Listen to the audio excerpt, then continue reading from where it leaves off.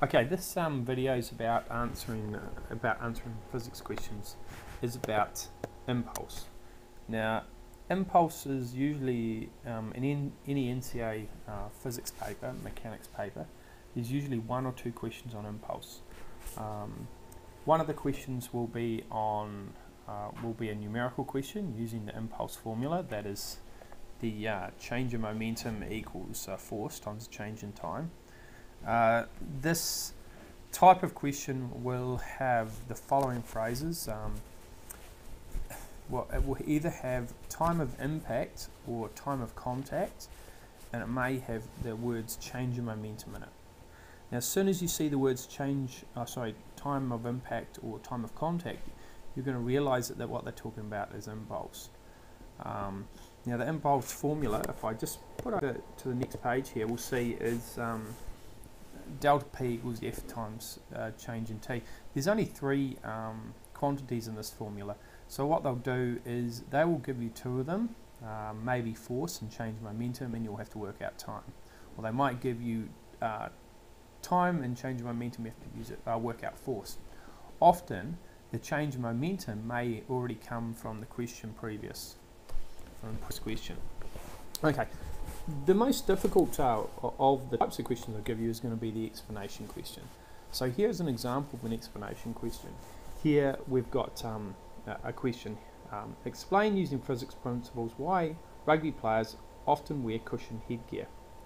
Okay, so this is um, gonna ho hopefully this type of question will set off some alarm bells in your head and you'll go, oh, okay, this is impulse. The reason it's impulse is anytime you talk, ab talk about uh, wearing cushioned headgear, you talk about softening the blow of an impact, you talk about having a mat to land on when you do a high jump, or um, airbags in a car, anything that uh, will soften the blow of any impact, you know that it's going to be impulse. Um, and you know what they're going to um, want you to talk about is um, why does uh, softening something or increasing the time of a collision actually produce less damage. So, how are we going to answer that? First thing we're going to say is, okay, the headgear that we have for a rugby player increases the time of impact. This is why it's there.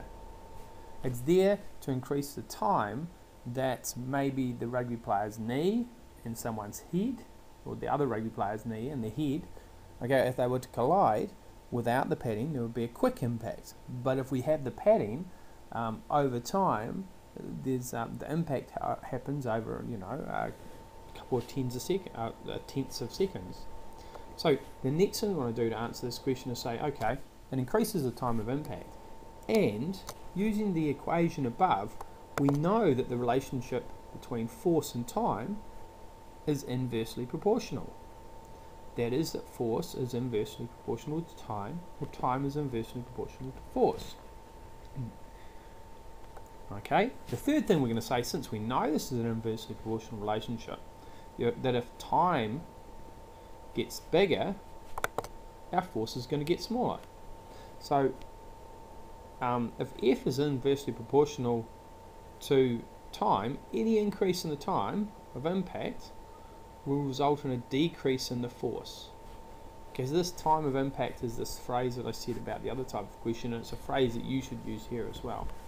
So these are the, just the three parts here. The first part stating the fact, or well, realizing that any padding will increase the time of impact. Second thing is we'll chuck down the relationship equation. Force is proportional to 1 over time.